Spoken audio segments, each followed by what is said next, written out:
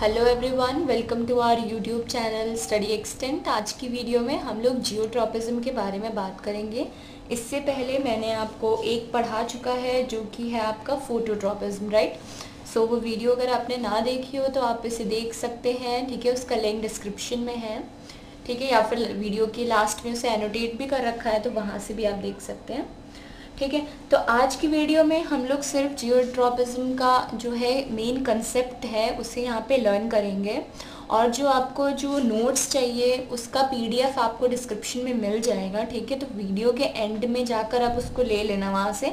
But first of all आप यहाँ पे क्या करो जियोट्रॉपिज्म क्या होता है, उसका कंसेप्ट बहुत अच्छी तरीके से सीख लो, ताकि जब आप रिटर्न कंटेंट पढ़ो ना, पढ़ने के बाद वो आपको बिल्कुल क्लियर हो जाएगा और आपको दोबारा मेरे हिसाब से पढ़ने की ज़रूरत नहीं पड़ेगी उसको, ठीक है? कि उतना ज़्यादा लर्न करना, जैसे बाकी बच्चों की तरह वर्ड टू वर्ड लर्न करना तो ये सब करने की आपको ज़रूरत नहीं पड़ेगी। बस यहाँ पे आपको क्या करना है? आज सिर्फ़ और सिर्फ़ फोकस करना है जो मैं कंसेप्ट दे रही हूँ जियोट्रॉपिज्म का, वो आपको समझना है।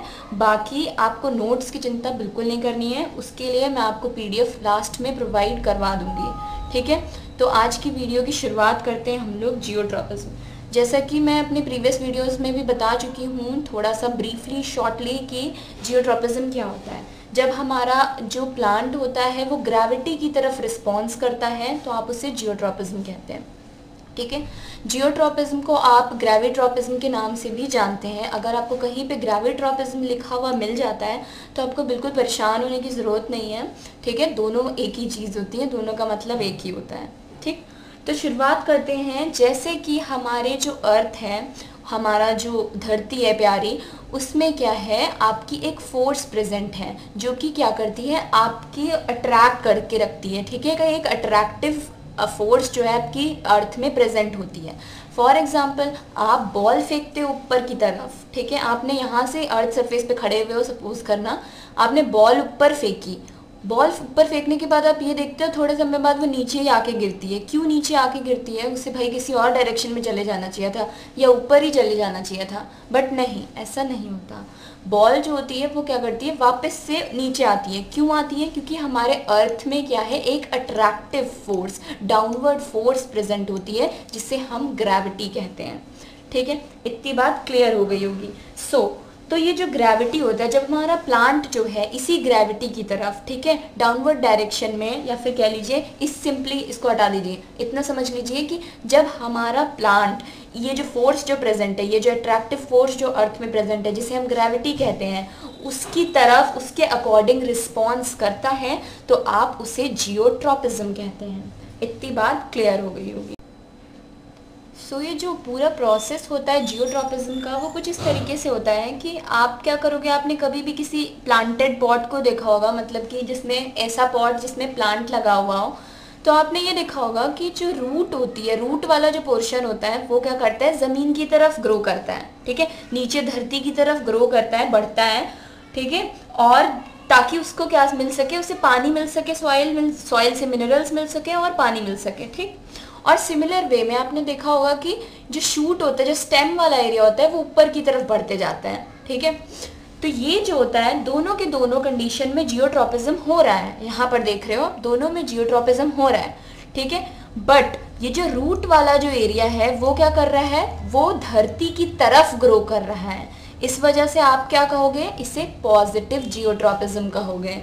और जो स्टेम वाला जो जो एरिया है, जो ऊपर की तरफ़ अपोजिट डायरेक्शन जो ग्रेविटी जो ग्रेविटी होती है, वो अंदर की तरफ़, नीचे की तरफ़ खींचती है। पर यहाँ पर जो प्लांट है, जो स्टेम है, वो ऊपर की तरफ़ उग रहा है। दैट मीन्स क्या हो रहा है कि यहाँ पर जो स्टेम वाला एरिया है, वो अपोजिट डायरेक्शन में, जो आपके ग्रेविटी के है ग्रेविटी के अपोजिट डायरेक्शन में ग्रो कर रहा है। दैट मीन्स कि ये जो है, आपका नेगेटिव जियोट्रॉपिज्म शो कर रहा है। ठीक है? फिर से। जो रूट है, वो आपकी ग्रेविटी की डायरेक्शन में, धरती की डायरेक्शन में ग्रो कर रहा है। इस वजह से ये पॉजिटिव जियोट्रॉपिज्म है, ठीक है? पॉजिटिव जियोट्रॉपिज्म है। और यहाँ पे जो शूट वाला एरिया जो स्टेम वाला एरिया है, वो क्या कर रहा है? वो अपोजिट ग्रेविटी के अपोजिट डायरेक्शन में ग्रो कर रहा है। इस वजह से क्या है? ये नेगेटिव जियोट्रॉपिज्म है। और शो दोनों कर रहे हैं जियोट्रॉपिज्म ठीक? इतनी बात क्लियर हो गई होगी मेरे हिसाब से आप लोगों को। अब क्या कर लेते हैं? अब इसको एक एक्सपेरिमेंट से पढ़ लेते हैं, ठीक है? अगर होता है, अगर आपसे पूछा जाता है जियोड्रॉपिज्म में तो आप ये एग्ज़ाम्पल कोट कर सकते हैं, ठीक है? तो आप लीजिए एक एक्सपेरिमेंट के रूप में आप समझिए कि अगर हम लोग क्या करते हैं, एक ग्लास जार लेते हैं। जैसे कि यहाँ पे आपको दिख रहा होगा, एक ग्लास से बना हुआ एक जार लेते हैं, ठीक? या पॉट लेते हैं, ठीक? उसमें एक प्लांट को उगाते हैं प्लांट को डालते हैं, ठीक है? देखोगे आप ये ठीक है प्लांट को डालने के बाद आप ये देखोगे, इसको इस कंडीशन में सीधा खड़ा कर दिया आपने प्लांट डालकर। तो आप देखोगे कि जो प्लांट जब ग्रो करेगा धीरे धीरे बढ़ेगा तो वो क्या करेगा? जो रूट जो होगा, वो क्या करेगा? नीचे की ओर, नीचे की डायरेक्शन में वो करेगा, बढ़ेगा ग्रो करेगा। और बात करें स्टेम वाला एरिया जो स्टेम वाला एरिया है, वो ऊपर की ओर बढ़ेगा। बट फिर सेकेंड केस में क्या करते हो आप? अगली बार आप क्या करते हो? अपने जो ग्लास जार है, जो आपका पॉट है उसको आप क्या कर दोगे? हॉरिजेंटली मतलब टेढ़ा लेटा के रख दोगे। ठीक है? लेटा के रखने के बाद आप क्या करोगे? देखोगे कुछ दिन तक तो ऐसा ही रहेगा कि डायरेक्शन में जैसा था, वैसा का वैसा ही रहेगा पौधा। बट थोड़े ही दिनों बाद, कुछ ही दिनों बाद आप ये ऑब्ज़र्व करने लग जाओगे कि जो आपका जो स्टेम जो आपने लिटा दिया था, वो क्या था? इस डायरेक्ट नीचे की डायरेक्शन में ग्रो करा हुआ था। ठीक?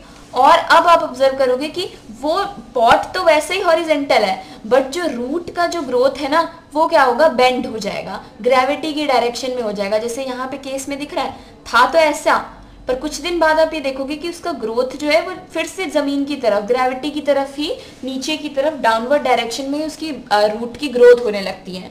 और जो आपका जो स्टेम है, वो क्या करता है? ऊपर की तरफ़ ग्रो करने लग जाता है। फिर से, जब ये नीचे की तरफ़ ग्रो कर रहा है दैट मीन्स ये शो कर रहा है positive mark my words positive ठीक है? पॉजिटिव जियोट्रोपिज्म और जो स्टेम जो है, वो बेंड कर रही है अपवर्ड डायरेक्शन में मतलब ग्रेविटी की अपोजिट डायरेक्शन में, ठीक है? धरती से ऊपर की ओर जाने की कोशिश कर रही है. दैट मीन्स यहाँ पे क्या होएगा? नेगेटिव जियोट्रोपिज्म सो ये कंसेप्ट होता है जियोट्रोपिज्म का, जिसे हम ग्रेविट्रोपिज्म भी कहते हैं.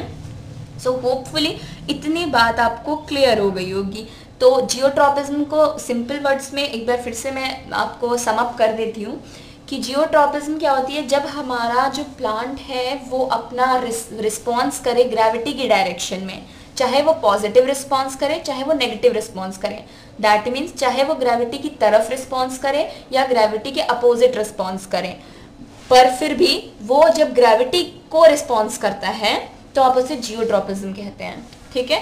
तो जियोट्रोपिज्म में दो कंडीशंस आती हैं, एक आती है पॉजिटिव जियोट्रोपिज्म एक आती है नेगेटिव जियोट्रोपिज्म जो कि मैं आपको समझा चुकी हूँ। आप चाहें तो इसका एग्ज़ाम्पल भी कोट कर सकते हैं, ये वाला। और मैं चाहूँगी अगर एग्ज़ाम में पूछा जाता है आपसे जियोट्रोपिज्म तो आप थोड़ा सा उसको लिख कर अगर आप इस डायग्राम को बनाएँगे तो आपको मार्क्स बहुत अच्छे मिल जाएँगे, ठीक है? क्योंकि मोस्टली क्या होता है, बहुत ज़्यादा चीज़ें टीचर नहीं पढ़ना चाहता होता है तो आप पॉइंट्स में लिखकर ठीक है पॉइंट्स में लिखकर अगर डायग्राम बना दोगे ना तो भी टीचर उतना समझ जाते हैं कि हाँ बच्चे को आता है। सो so, ये आपको मतलब बेनिफिट देगा कि आप ज़्यादा से ज़्यादा डायग्राम्स अगर बनाते हैं बायोलॉजी में तो ठीक है। सो so, इतना आपका जियोट्रोपिज्म का हो गया हिस्सा। अगले वीडियो में हम लोग बात करेंगे आपका थिग्मोट्रोपिज्म के बारे में हाइड्रोट्रोपिज्म उसके बाद फिर केमोट्रोपिज्म ठीक है? सो होपफुली इतनी वीडियो क्लियर हो गई होगी। वीडियो पसंद आई हो तो लाइक करिएगा शेयर करिएगा अपने फ्रेंड्स के साथ और चैनल को सब्सक्राइब करिएगा अगर आप न्यू यूज़र हैं और आपको इसी तरह की वीडियो चाहिए तो। और परेशान बिल्कुल मत हो होइए क्योंकि आपको जो इसके नोट्स हैं वो आपको पीडीएफ मिल जाएगी डिस्क्रिप्शन में तो वहाँ से आप पढ़ लेना बट यहाँ पर आपने कंसेप्ट समझ लेना, उसके बाद ही उसे पढ़ना तो फिर आपको बहुत ज़्यादा अच्छे से समझ आ जाएगा।